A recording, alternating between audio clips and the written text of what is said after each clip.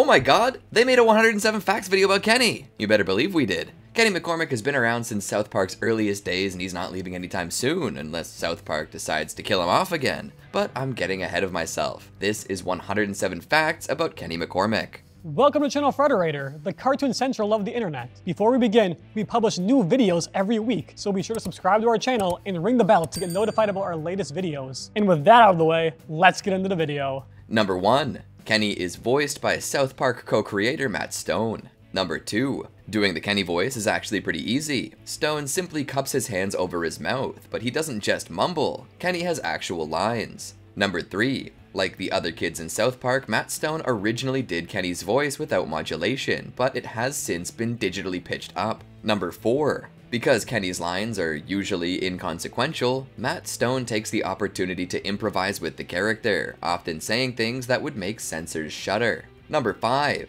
There are times that we do hear Kenny though. His voice can be heard unmuffled in episodes like The Losing Edge, The Jeffersons, and You're Getting Old. Number 6. In a number of those instances, it's not always Matt Stone doing Kenny's voice. Sometimes Kenny is voiced by South Park animation director slash producer Eric Stough. Number 7. You can also hear Kenny unmuffled by his parka at the end of the South Park movie. South Park, bigger, longer, and uncut. Number 8. In that instance, when he simply says, goodbye you guys, he's actually voiced by Mike Judge, creator of King of the Hill and Beavis and Butthead, among other things. Number 9. That's also the first time we see Kenny without his orange parka. You can see his full face and even his messy blonde hair. Number 10. To date, this is the only time Kenny's full face has been seen without anything obscuring it, though he's appeared without his classic parka on a few different occasions. Number 11. When the boys are trying to help Mr. Jefferson's son Blanket escape, they sub Kenny in Blanket's place. You can't see Kenny's eyes due to the mask he's wearing, but you can see the rest of his face, including his hair. Number 12.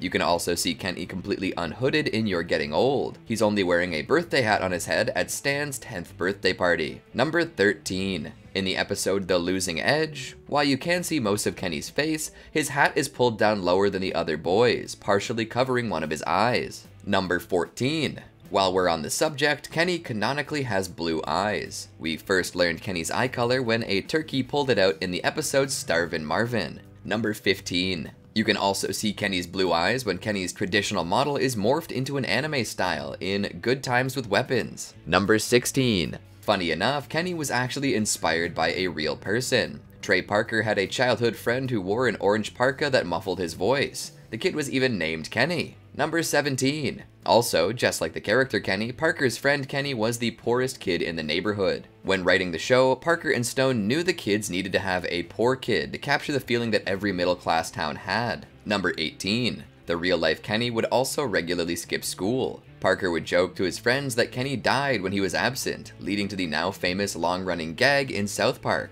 Number 19. The joke about Kenny dying first appeared in The Spirit of Christmas, Jesus vs. Frosty, a short made by Matt Stone and Trey Parker in 1992 while they were in college at the University of Colorado. Number 20. Kenny's wearing his signature orange parka, however, in this first iteration, you can still see his full face, nose, mouth, and all. Number 21. Even stranger, he's not called Kenny. Instead, the character that resembles Cartman is called Kenny, and he's the one who gets killed. Number 22. However, Kenny's next appearance would solidify the character as we know him. 1995's The Spirit of Christmas Jesus vs. Santa. This time, the real Kenny gets killed, complete with the rats almost immediately swarming his corpse. Number 23. The running gag of killing Kenny would last throughout the first five seasons of South Park, with Kenny dying in nearly every episode. Number 24. In an unaired pilot version of South Park's first episode, Cartman gets an anal probe, Kenny is actually brought back to life in the end.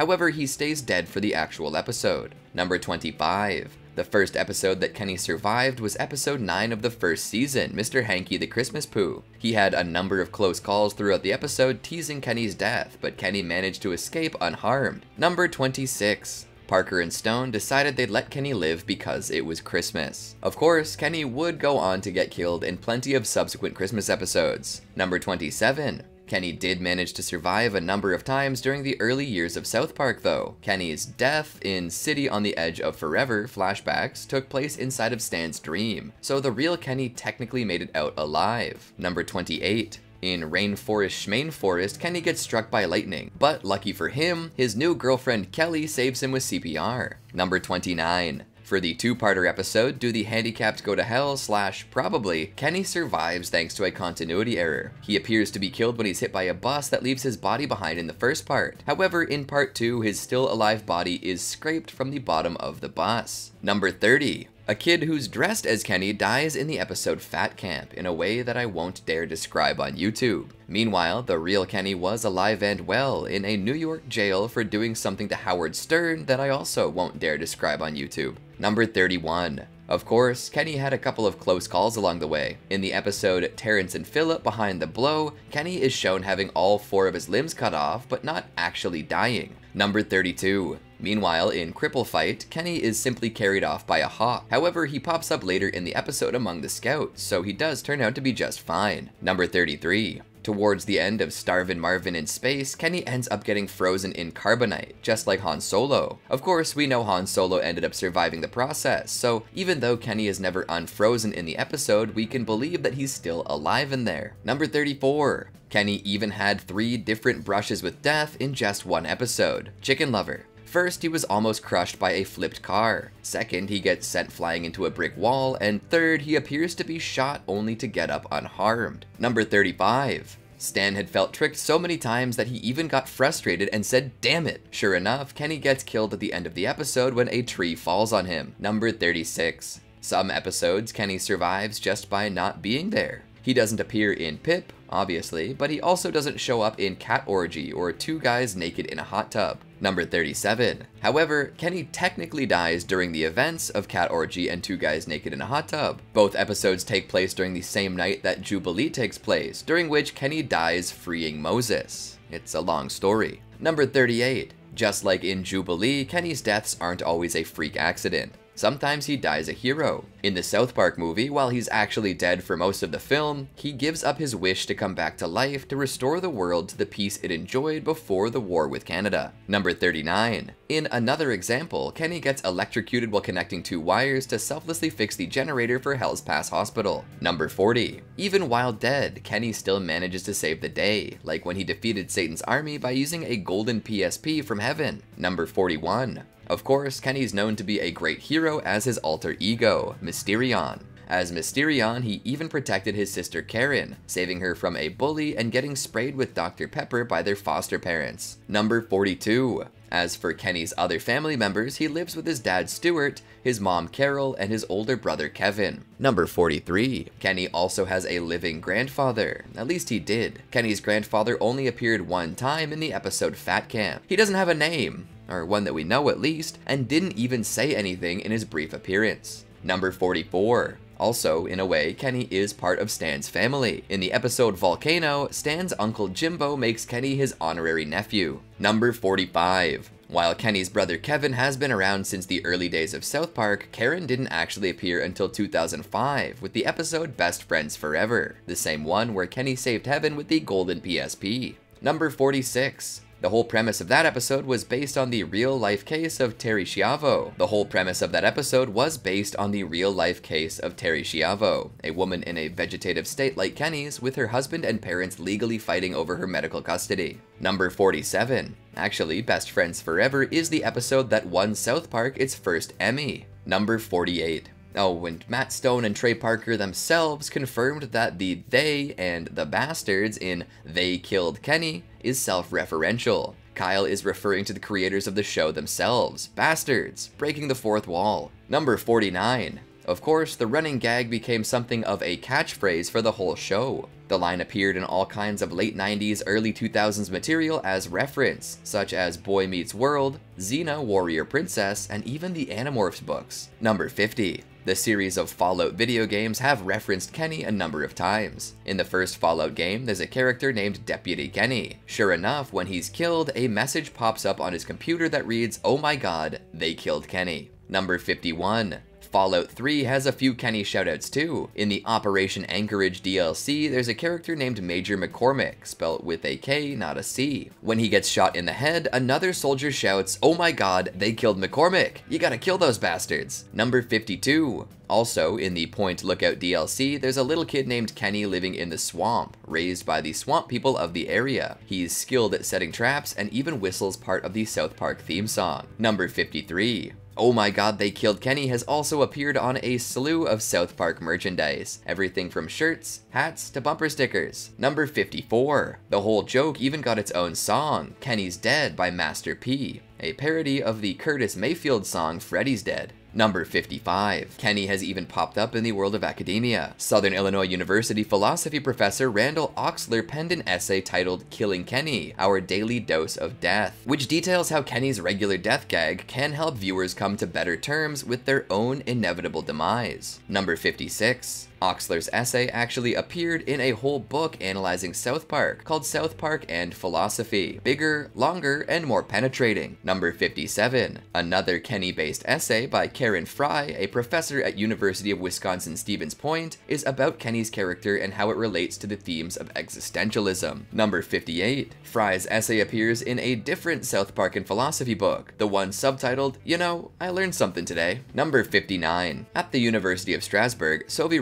Rutsch discovered a mutation in adult fruit flies which caused them to die two days after they're infected with a particular bacteria. She named the mutation gene Kenny after the character from South Park. Number 60. By the end of season 5, Parker and Stone were sick of the gag themselves, so they decided to kill Kenny off for good with episode 13 of season 5, fittingly titled Kenny Dies. Number 61. While coming up with creative ways for Kenny to die had been fun for a while, Parker and Stone got tired of constantly thinking of new, interesting ways for it to happen. Number 62. They were actually originally considering to kill Kyle off, but that was only planned to be for a year. Number 63. By this point, the creators considered Kenny to be less of a character and more of a prop. Stone even called him an orange blob that just moves around. With no discernible way to develop his character, South Park officially gave Kenny the axe, for keeps this time. Number 64. As for his death in that episode, he died of a terminal case of muscular dystrophy, or at least that's what he appears to have had. We never got a proper diagnosis. Number 65. At the time, a small portion of South Park fans were so outraged by Kenny's seemingly permanent death that they threatened to boycott Comedy Central, the channel that aired and still airs South Park. Number 66. As far as the friend group goes, Kenny was effectively replaced by Butters Stotch, who even got his own episode as the season finale, fittingly titled Butters' Very Own Episode. Number 67. Butters' episode was designed as a kind of formal introduction for him, as he was planned to take a bigger role in the spotlight for the next season. Number 68. Butters was picked because at the time he was quickly becoming one of the more popular characters among fans. Number 69. As the season went on, Butters was eventually booted as Kenny's replacement in the crew, replaced by the hyperactive, coffee-addled Tweek Tweak. Number 70. Though Kenny was officially dead, he was still there, spiritually and literally. Later in the season, Cartman drinks Kenny's ashes thinking they were chocolate milk mix. Kenny's soul then inhabits Cartman's body, occasionally possessing Cartman and chiming in as Cartman channeled his words. Number 71. From here, Kenny's soul is exorcised from Cartman's body into a pot roast, which is then eaten by Rob Schneider, making him Kenny's new host until he also dies, presumably freeing Kenny's soul. Number 72. Rob Schneider actually died by being impaled by a flagpole, just like how Kenny was in the episode Weight Gain 4000. Number 73. Kenny wouldn't reappear in his own body until the end of season season 6's finale, Red Sleigh Down. He simply shows up, totally fine. Turns out he'd just been hanging out the whole time, no explanation given. Number 74. Kenny was alive and the running gag was dead, but South Park would occasionally bust it out from time to time. After his return in Red Sleigh Down, Kenny wouldn't die again until Saddam Hussein destroyed him with laser vision in the season 7 finale It's Christmas in Canada. Number 75. While there's no explanation given as to how Kenny returned, we do eventually get some explanation as to Kenny's curse source of immortality. The earliest in-show explanation actually appears in the season 4 episode Cartman Joins Nambla. Number 76. In this episode, we see Kenny die only to be reborn as a totally different baby, his soul seemingly returning to his mother's womb. Number 77. Carol even mentions that it's the 52nd time that it's happened, making that newborn Kenny the 52nd incarnation of him. Number 78. The most recent explanation comes from the series of episodes featuring Kenny's run as Mysterion. Kenny's superpower is that every time he dies, his mom gives birth to him once again and he awakens in his bed, aged up to the same age. Number 79. Though he remembers everything, including how he died, mysteriously, nobody else in his life remembers him ever dying. Number 80. Turns out that Kenny's ever-continuing cycle of rebirth and immortality may have some connection to the cult of Cthulhu. Carol mentions that she and Stuart never should have gone to those cult meetings. Number 81. There's even a picture in the Necronomicon showing a group of cultists standing in a circle around a pentagram,